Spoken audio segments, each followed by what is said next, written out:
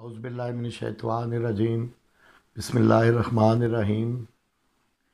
میں اپنے پاکستانی بھائیوں کو آج جو آج کل جو دنیا میں عجیب قسم کی وبا پھیلی ہوئی ہے، اس کے بارے میں کچھ آگاہی دینا چاہتا ہوں۔ میں اسپین کے شہر بارسلونا سے بول رہا ہوں۔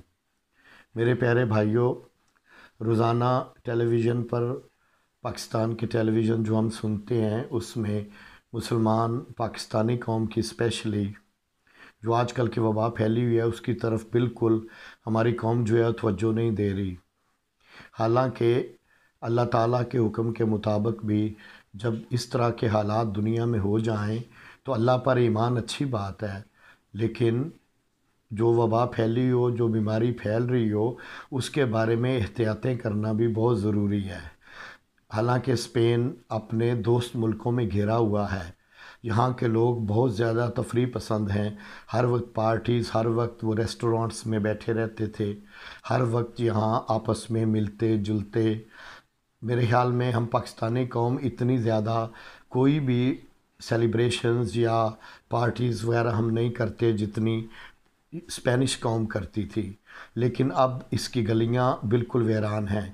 یہ لوگ جانتے ہیں کہ ہمارے آس پاس چاروں طرف ہمارے دوست ممالک ہیں جو ہمیں ہر قسم کی امداد دینے کے لیے بھی تیار بیٹھے ہیں۔ اس کے باوجود ان لوگوں نے ڈاکٹرز کی آواز پر اور اپنی گورنمنٹ کی آواز پر لبیک کہتے ہوئے اپنے آپ کو رضاکارانہ طور پر گھروں میں قید کر لیا ہے اور ہر قسم کی احتیاط یہ خود برت رہے ہیں۔ اپنے بچوں کو، اپنے بڑوں کو یہ لے کر اپنے گھروں میں خود ہی چلے گئے ہیں۔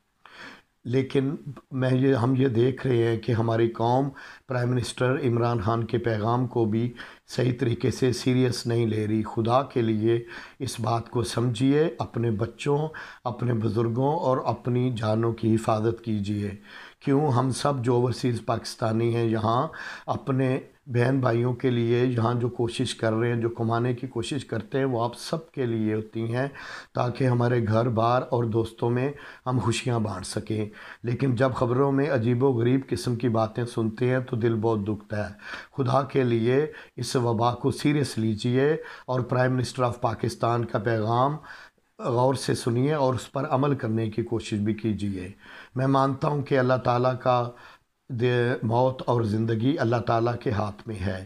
لیکن وہی اللہ کہتا ہے کہ جب اس قسم کی وبا پھیل جائے تو آپ اپنے اپنے اپنے گھروں میں رہیے اور احتیاط برتیے۔ یہاں تک کہ عرب میں بھی اب جمعہ کی نماز اور دوسرے اجتماعات بھی، پر بھی پابندی عائد ہو گئی ہے۔ خدا کے لیے وقت گزر جائے گا، یہ دس پندرہ دن ہے عمران خان اپنی قوم کے لیے بات کر رہے ہیں، آپ ان کی بات کو سیریس لیجیے اور اس پر عمل کیجیے۔ وقتی طور پر ہم اپنے گھروں میں بھی اپنے خواہ مذہبی ہمارے فرائض ہوں یا دنیاوی فرائض ہوں، ٹیلی فون پر پر بھی ہم ان کو حل کر سکتے ہیں۔ میں امید کرتا ہوں کہ آپ ہماری باتوں کو دل بہت دکھتا ہے جب پاکستان کے حالات ہم یہاں سے سنتے ہیں۔ جب اتنی ترقی یافتہ قومیں جو ہیں وہ اپنے اپنے گھروں میں بیٹھ گئی ہیں، تو ہم اس پر عمل کیوں نہیں کر رہے؟ وقتی طور پر اگر ہم تبلیغ کرنا چاہتے ہیں تو اپنے گھر میں بیٹھ کر اپنے بہن بھائیوں اور بیوی بچوں کو بھی یہ تبلیغ کر سکتے ہیں۔ باقی دوسرے اجتماعی جو ہمارے مذہبی اجتماعات ہیں، وہ بھی ہم اپنے گھروں میں اپنے بچوں کو یہ باتیں بتا سکتے ہیں کہ اس طریقے سے رہیے، اس طریقے سے رہیے، یہ اللہ کا حکم ہے۔ میں مانتا ہوں کہ زندگی اور موت اللہ کے ہاتھ میں ہے۔ لیکن وہی اللہ کہتا ہے کہ جب اس قسم کی کوئی وبا پھیل جائے تو خدا را آپ سب احتیاط کریں اور اللہ تعالیٰ کا حکم مانیں۔ گورنمنٹ آف پاکستان کا ساتھ دیں۔ تاکہ ایک صاف ستھرا اور بہترین معاشرہ اللہ تعالیٰ ہمیں عطا کر سکے۔ استغفار کا ورد رکھیے، لیکن احتیاط ضرور کیجیے۔